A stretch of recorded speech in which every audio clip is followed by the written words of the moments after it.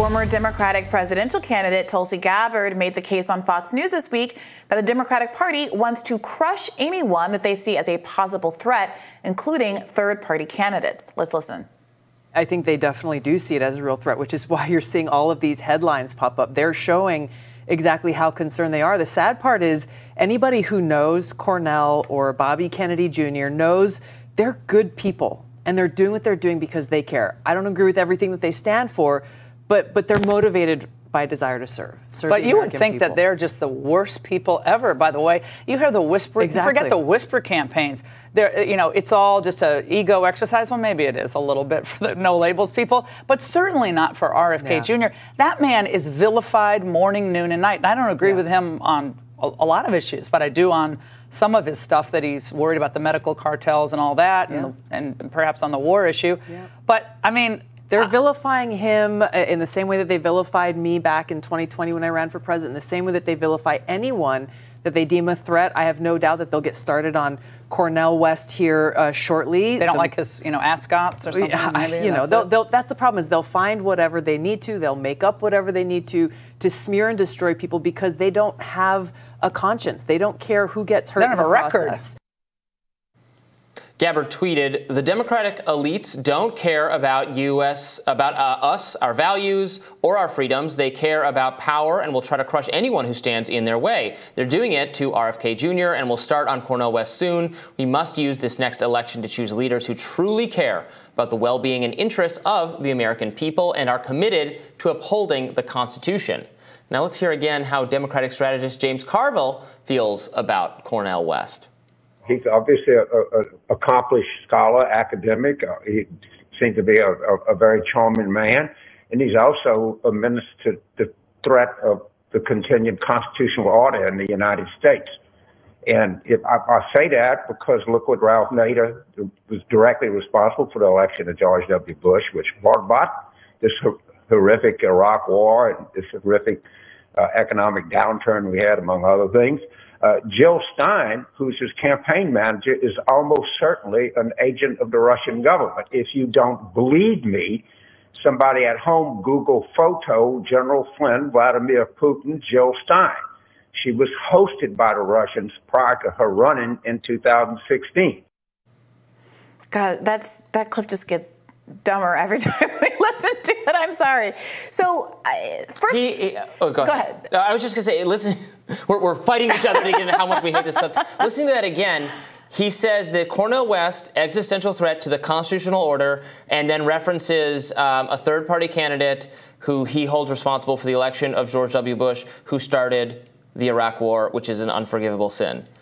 But Joe Biden voted for the Iraq War. So right now you're saying that that Cornel West is a is a threat to the order because he could he could we don't even agree that this is correct. But let's say he's going to affect the reelection of Joe Biden. Joe Biden voted for the thing you just held out as the thing we're trying to avoid. Right. He supported it. Right. so there's there's so much here. One, his evidence for Jill Stein being a, a Putin puppet, the fact that she was pictured at a banquet. There's a picture of her at a banquet with a number of other people is ridiculous on its face. As are his claims that it was uh, but for Ralph Nader, uh, Al Gore would have won. He couldn't win his own state. More registered uh, Democrats in Florida voted for George Bush than Green Party candidates. Uh, you have obviously the Supreme Court affecting the outcome of that election any number of, of causes uh, that had nothing to do with Ralph Nader. But principally, even if it were true, why is it that Al Gore couldn't win those votes? Ultimately, your job as a candidate is to convince voters why they should vote for you, not fearmonger and try to frighten them out of voting for what they want to, someone who actually accords with their values. The argument that Carville is making is that to protect democracy, we have to deny people the democratic choice to pick the president of their choosing. That is absurd. Democracy, but not like that. Exactly. Exactly. Now, back to Tulsi Gabbard's uh, point, she of course is right that there is uh, that the Democrats uh, are presented with a kind of existential threat with respect to third uh, third parties because the corporate duopoly maintaining the two party hold over the system requires that uh, ranked choice voting not be implemented. And for people who just don't know, you know, the idea is that if you have a ranked choice voting system, you can say, okay, I want to vote for the Liber- Libertarian candidate or the Green Party candidate or whomever, but in the case that they don't meet the threshold to actually win, my vote then registers for the next uh, the, the next person that I rank on my on my ballot. So okay, Jill Stein didn't win, so hypothetically I could have written in Hillary Clinton, and then my vote would have gone to Hillary Clinton. Now, there's some problems with that. One, there's this expectation that all these Jill Stein voters actually would have written in Hillary Clinton, which does not bear out when you actually do surveys of who third, third party voters actually are. And moreover, it's not just Democrats, but Republicans and Democrats alike have gone scorched earth whenever there is a ballot initiative to try to implement ranked choice voting through a democratic process because both parties really recognize how hard it will be for them to justify for their sure. poor record and low confidence level with the American public if, if people believe that they have options they without throwing it to the other side side. Designed and then reinforced a system to make it as much as possible a binary choice between Democrats and Republicans. Both parties have supported making that the reality. So it is so ridiculous for them to be upset that there's a sliver of a choice that they can't literally make it illegal to vote for someone who doesn't have an R or a D. The, the most they can do at this point they can demonize and smear and try to embarrass or humiliate people who are open-minded enough yeah. to say, "I don't, I'm not happy with either party."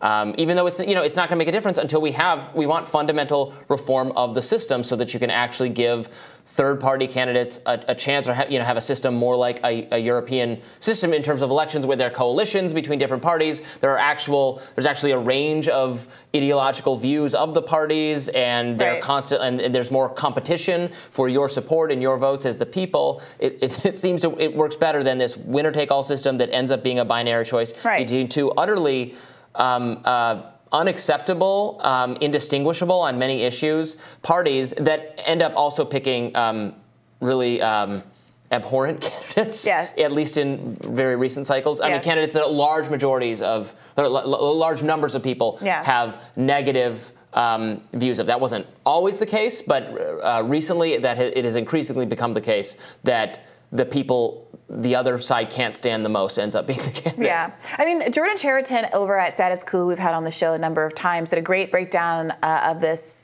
uh, issue over on his channel. And he went through all of the various so called spoiler candidates and debunked the narratives around them. And it was so interesting to hear him talk about Ross Perot, who was the most successful third party candidate in recent history with what, like something in the high teens percent of the vote, mm-hmm. 16, 17, 18, 19 percent of the vote. And there is this expectation that Bill Clinton was really, uh, you know, that that that that if Ross Perot weren't running, that those votes would have gone to the Republican. Right. But when you look at the numbers, and again, when you actually surveyed uh, Perot voters, it turns out that what they were voting, what was really motivating them, was being anti-NAFTA, and uh, that's also what but um, sorry, uh, Clinton was ostensibly running on it at the time. So what you saw was that people were, went from one anti-NAFTA candidate to another anti-NAFTA candidate, and that it wasn't actually yeah. going to affect the outcome of the. Although was Clinton perceived as being an anti-NAFTA at candidate? the time? People run one way; it was like an Obama situation, yeah. as I understand it, and that polls show that only one state maybe would have flipped its result, and it wouldn't have changed the outcome of the election. I think it, it was Ohio. Now, it's really, really worth noting that both Republicans and Democrats know exactly how serious a threat third party candidates uh, put to the duopoly, and they have been working overtime to make sure preemptively that there are no um, efforts to uh, uh, shift to a ranked choice voting system on a, on a, a local level. Uh, this is from an article in the 19th from earlier this year um, about how now some Republicans are trying to ban its use in other forms instead of instant runoff voting, often preemptively. South Dakota Governor Kristi Noem and Idaho Governor Brad Little both signed bans on ranked choice voting in March. Republicans have filed similar ban proposals this year in Arizona. Arizona, Montana, North Dakota, and Texas, mm. for those of you in those states um, to pay attention to. Um, the number of proposals to ban the practice is nearly double the legislative activity from last year when Florida Governor Ron DeSantis and Tennessee Governor Bill Lee signed bills into law that prohibited their use, making their states the first to do so. This article goes on and it goes through a number of Republicans and Democrats alike who have really focused quietly under the radar on preventing actual democracy from coming to states all across America. So he's right when he says there's a threat, but the threat isn't to spoiling uh, or about spoiling. The threat is that without being able to argue that you will spoil it for the other side, these parties will have a really hard time getting anyone to come out and vote for them or support them in the first place. Yeah, absolutely. We need fundamental reform of the system. Uh, more rising right after this. Stay with us.